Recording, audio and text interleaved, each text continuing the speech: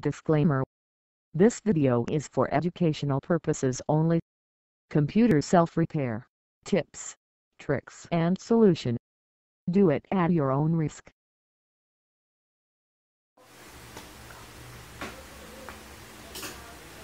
Welcome to Ryan Tech Review! Hey guys, uh, balik tayo sa shop. Ito yung ginagawa natin laptop na sira yung hard drives kung napanood yung last episode natin. Okay. Ngayon, may isang error to. Hindi ko pa na to napakita sa ibang episode natin eh. Okay. Papakita ko sa inyo yung error ng uh, Windows 7 installation. Pati sa 8, saka sa 10 kasama to. Okay, isimulan natin.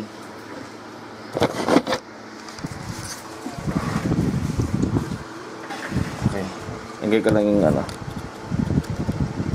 Win 7 natin. Okay.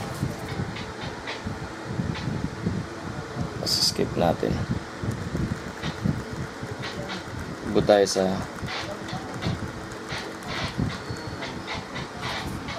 Ayan, ibot na siya dyan.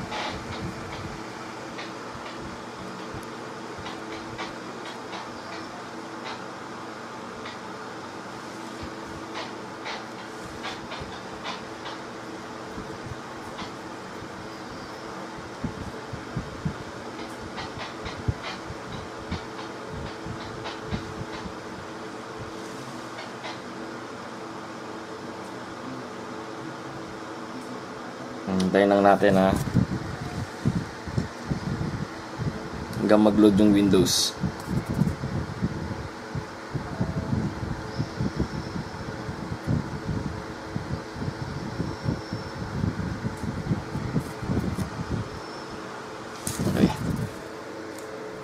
So next natin next post install now.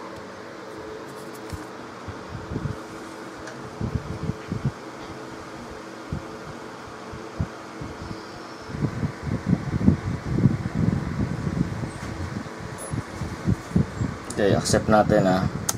Accept. Yan, naka-accept yan. Tapos, next. Okay, tapos, custom. Okay. Ito guys yung error niya. Okay. Wag na encounter nyo to. Ito, pagka-click natin to, ito walang next oh. Kita nyo. Wala siyang next. Okay. Ito lang siya. So, ang error niya is ito. Windows cannot be installed to disk. This selected disk is of the GPT partition style. Okay. Yan. So, hindi tayo makapag-install. Madaming ways to ha. Madaming ways to, hindi lang isa. Okay, ang gagawin lang natin is uh, during installation lang. Okay? Halimbawa, ito. Diyan natin i-install halimbawa. Tandaan nyo yung D0, di ba? Yan, D0. Sabagay, pareho naman sila kasi dalawa lang yung partition niya. Eh. Okay? Ang pipindutin nyo lang is uh, Shift F10. Okay? Shift F10. Kat lang, pipindutin ko muna ha. Okay. Yan, pag lumabas ng shift F10 na yan, okay? Pero mayroong isang ways na ganito. Kung baka ma-encounter nyo din, okay, ulitin natin to, pero baka ma-encounter nyo din. Puntahan nyo muna yung drive option na to. Okay? Drive option. Just in case lang na hindi kakayanin. Okay ha, baka hindi kaya, doon tayo sa may kabila. Kung halimbawa wala kayong option na ganito. Gawin nyo is format nyo natin, format natin ah.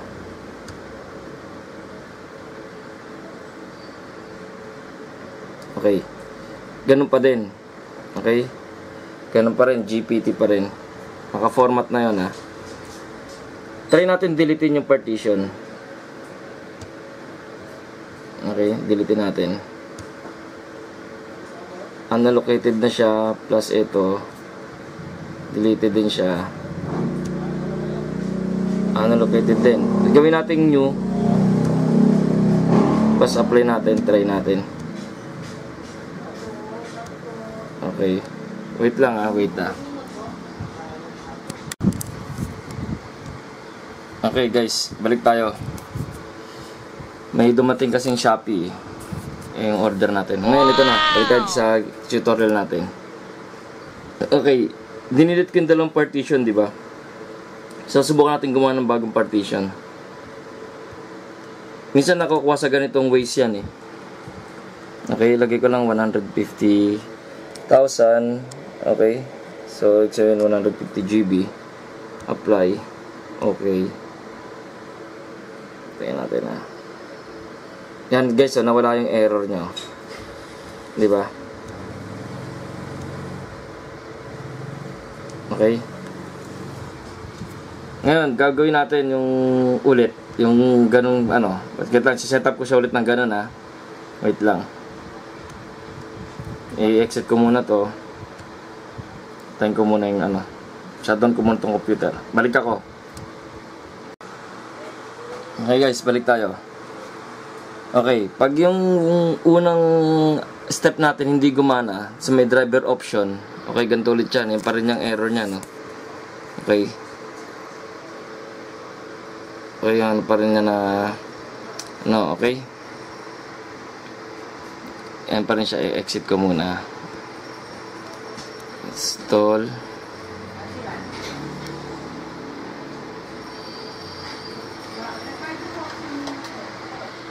Okay. I accept. Next. Post option natin dyan. Yan. It's cannot be installed in this disk. This computer hardware may not support booting to this disk, etc. etc. etc. Kanina GPT, di ba? So, pwede natin dito yung F10. Okay? Pwede natin yung F10.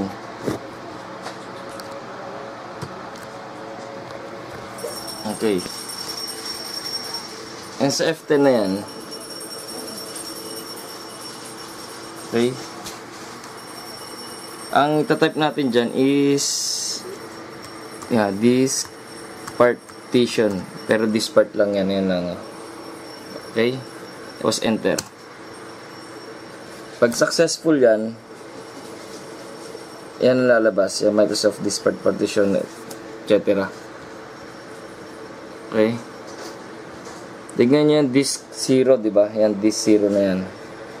Okay, list disk natin. List disk.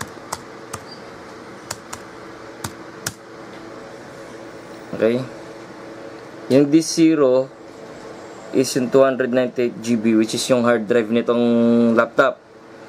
Yung disk 1 ko uh, 7,648 MB. Ito yun, yung 8 GB ko na USB.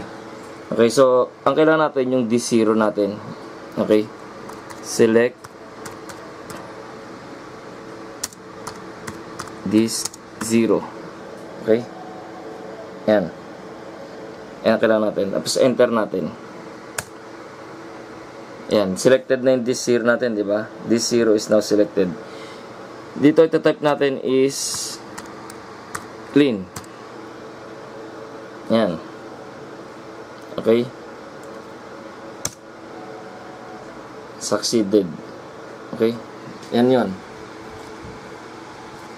Ngayon, halimbawa, yung uh, nire-require naman kanina, di ba, nakalagay yung GPT. Okay, GPT. Pero, pag ang nakalagay naman doon, is sinahanap niya is, ano naman, naka uh, GPT naman siya, convert, uh, kailangan naman MBR, o kailangan naman ng GPT, naka-MBR tong partition natin, itong mga partition natin yan, okay? Naka-MBR siya, tapos sinire-require naman, is uh, GPT naman, kanina kasi nakalagay GPT, bawal, di ba? So, just in case mag, mag, mag-reverse siya, limbawa, naka-MBR naman, ang require naman is GPT, ito, ito type nyo naman. Convert capital G P T. Yan. Okay? Kung in case na baliktad, ah, alimbawa MBR, tapos ni-require na kailangan natin ng GPT, yan ang tatype nyo. Pero ngayon, hindi natin kailangan yan eh. Okay, kasi kailangan natin MBR, kasi kailangan ni-require niya ng GPT. Okay? Ngayon, exit na natin to. Tapos exit. Tingnan natin ah. Yung gagana na.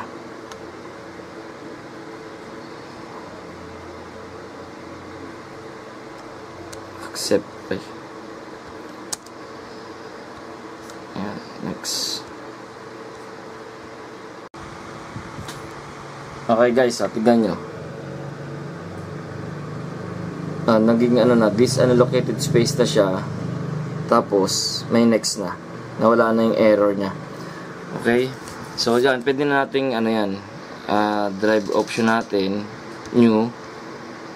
Tapos, ah, 150 natin yung 150,000 apply okay yan na guys oh. Pas pati itong isa ano located natin yun na natin. Apply. This two mani next na natin. Makapag-format na tayo. Okay? Ganun lang yun guys. Madaming error na ganyan na nakikita ko. Okay? Okay, maraming error na ganun yung nakikita ko sa forum.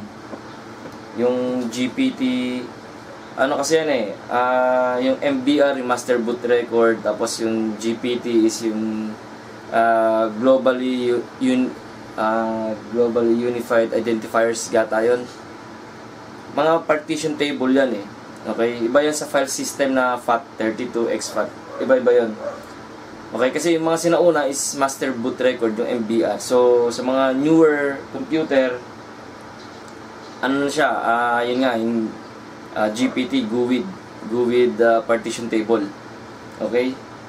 Ah pwede rin siya sa BIOS. Kung hindi siya makukuha sa BIOS, ah mamaya papakita ko sa inyo yung sa BIOS para makita nyo kung saan nyo i-disable yon kung hindi ubra, subukan nyo yung ginawa ko. Uh, this partition. Marami kasi. Uh, yung MBR, minsan, naka-MBR siya. Pag nag-install ka, kailangan GPT naman kasi naka-BIOS setting siya. So, kailangan convert mo yung hard drive mo into GPT. Ngayon naman, kung sa BIOS mo is naka-legacy, which is MBR siya, tapos, i- i-convert mo naman siya kailangan ng MBR. So, GPT to MBR naman para matanggap niya. Vice versa lang yun. MBR, GPT. Pag naka-MBR, ang nasa BIOS nun is legacy. Okay? Pag GPT naman, ang BIOS nun is yung UIFI. Uh, yun ang settings nun sa BIOS. So, ito troubleshoot nyo lang yun doon sa BIOS settings. Mamaya papakita ko. Okay? Uh, antayin ko muna ito matapos para kasi sa customer to, inaantay na rin ng customer natin to. So, ginawan ko na ng video kasi nagkaroon error para makita ninyo. Okay? Babalik ako pagkatapos nito, papakita ko yung pinaka-last uh, section sa BIOS. Okay?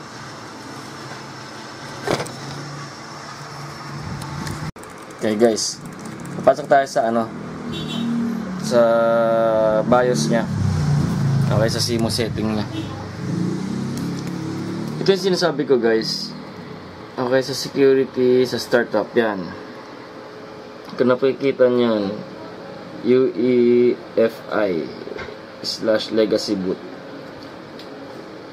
Kasi pag ito, pwede yung piliin yan kung legacy first or UE, UEFI. Okay? Anong pinagkaiba niyan? Okay. Pag halimbawang naka UEFI siya. Okay? Pag naka MBR yung partition table natin, hindi niya babasahin. Sasabihin niya, kailangan niya ng GPT. Okay? Ngayon naman, pag nakauna naman yung legacy niya, okay, ang babasahin niya is MBR. Ngayon, kung naka-GPT naman siya, kailangan naka-MBR naman yung naka-MBR naman yung an natin. ah, kailangan i-MBR natin yung partition table natin. Okay? Pag UEFI, dapat naka-GPT ang partition. Pag naka-legacy siya, dapat MBR ang partition table natin. Okay? So, pwede mo rin ditong gawin yon Halimbawang ah inahanapan niya ng GPT or MBR, depende sa lalabas sa installation ninyo. Kasi iba-iba nga yan eh. So, kailangan lang nyo, yung idea lang kung paano gagawin. Okay? Yun lang yan. Pag hindi nyo nakuha dito, try nyo yung mga previous steps natin. Makukuha at makukuha nyo yan. Posibleng hindi. Hindi natin kailangan ng third party software. Ito lang mismong ano lang. Itong kung ano nasa Windows lang natin. Okay? Tapos okay na to eh. Is- Exit discard yung changes natin. Okay? I-install lang ko to lang drivers na lang. Okay na to. Pakita ko lang sa inyo yung Windows na naka-installed na siya. Okay, same i i7 ThinkPad. Okay, starting Windows na. Okay?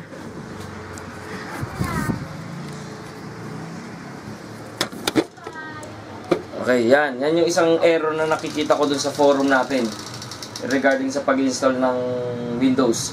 Applicable yan sa Windows 7, 8, tsaka 10. Okay, pare-pareho lang yan. Okay, sana may natutunan kayo rito sa ating bagong ah, tutorial. Kaya madami pa tayong gagawin tutorial kasi ngayon busy lang talaga eh.